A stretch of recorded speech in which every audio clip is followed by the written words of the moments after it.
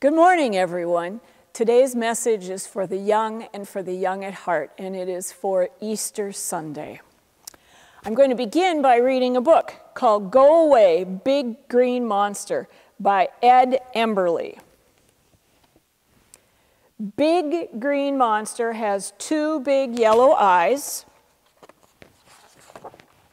a long bluish greenish nose, a big red mouth with sharp white teeth, two little squiggly ears,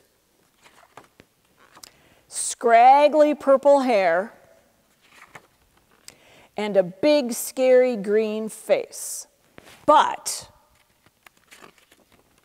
you don't scare me, so go away, scraggly purple hair.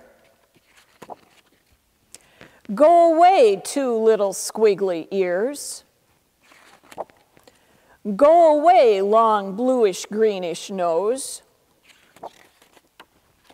Go away, big green face. Go away, big red mouth.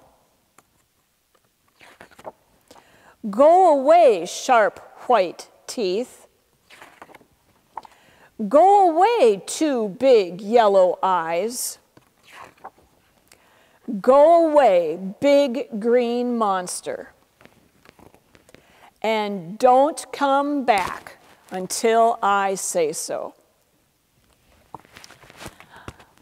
There's been a lot of things going on in our world that make us afraid.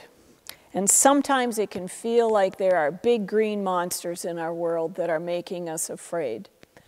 But we don't have to be afraid.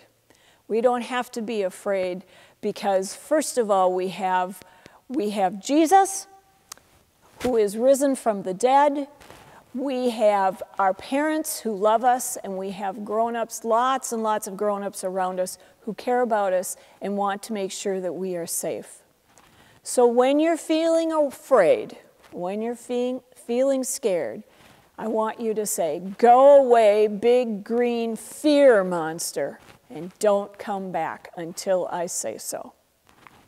Let us pray. Dear God, help us not to be afraid. Help us to trust that you are here with us. Keep us safe and be with us in everything we do. In your name we pray. Amen.